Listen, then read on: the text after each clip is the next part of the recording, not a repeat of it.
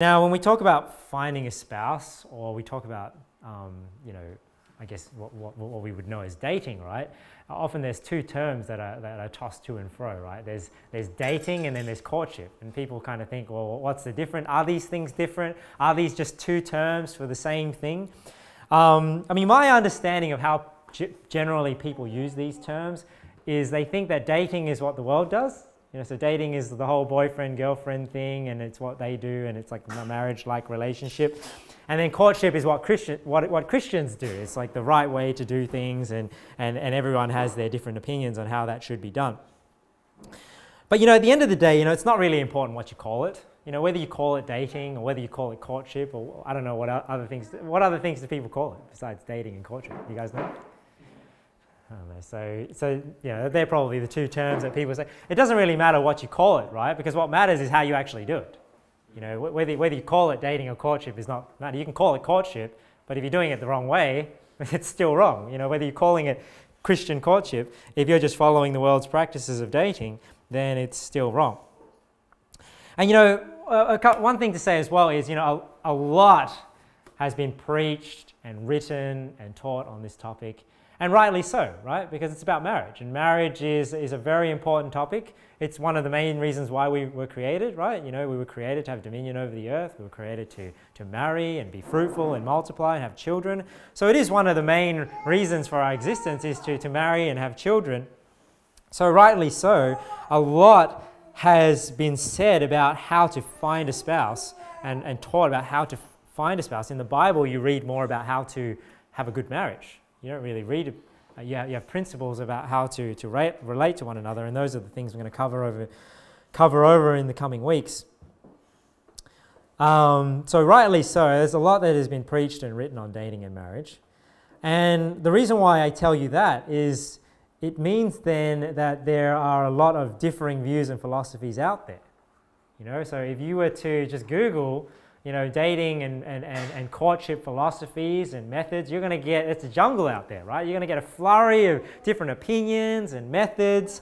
So it's just good to keep that in mind because probably most of the stuff that you're going to read out there is not biblical. You know, it's not from the Bible and it's just taking the world's methods and the world's philosophies. So a good reminder is to uh, get back to the Word of God and make sure our philosophies and our methods and our views line up with the Word of God. So, you know, it doesn't really matter what you call it, whether you call it dating or courtship. It's more important what you're actually doing, uh, not what you call it. So, what do I mean when I say dating or courtship? You know, what I mean by it, it what I mean by it is it's, it's getting to know a person for the purpose of marriage. That's what it is, right? You know, you're single, you want to get married, so now you're trying to get to know somebody in order to see whether or not you want to marry them or whether or not they want to marry you. So this means when you go about when you when you go about dating, start it means you have to be ready for marriage. Right? Because if the purpose of dating is to see whether or not you can marry this person, then, then doesn't it make sense that when you start dating, you should already be ready for marriage. It's not something that, oh, I want to do it in the future, but I'm going to start dating people now. No, you, you, you start dating when you're ready to get married. Um, so it means you're ready to marry, and now you're trying to find that life partner.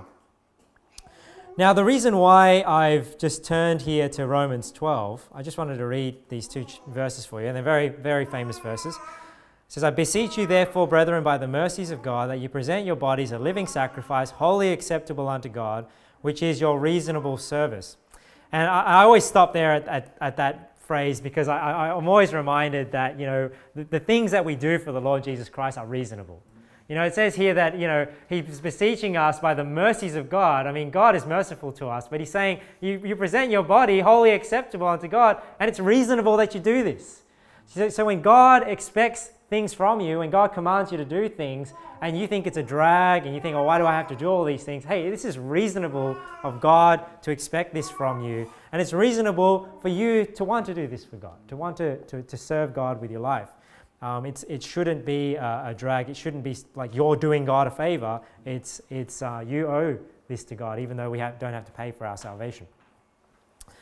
Um, verse 2 And be not conformed to this world, But be transformed by the renewing of your mind, that ye may prove what is that good and acceptable and perfect will of God. And the reason why today I just wanted to go to this verse, and like with anything that we learn from the Bible, you know, we often, when we, when we study out a topic, we need to put our preconceived ideas aside and we need to let the Bible determine what our positions are. And the Bible says here that we ought to be transformed by the renewing of our minds. So it starts with what we believe, right? It starts with, with our mind and then that is going to transform us on the outside. So we need to uh, reset our preconceived ideas and external change, the things we do on the outside, it starts with an internal change, doesn't it? So this is what I'm hoping to do with this sermon uh, series is really just reset how we think about dating, how we think about courtship, and hopefully bring it back in line with um, the Bible principles. You know, Jesus said as well in Matthew 23 cleanse first that which is within the cup and platter, that the outside of them may be clean also. He said that to the Pharisees. So it's about cleaning first what's inside, renewing your mind first, and then that will change how you behave.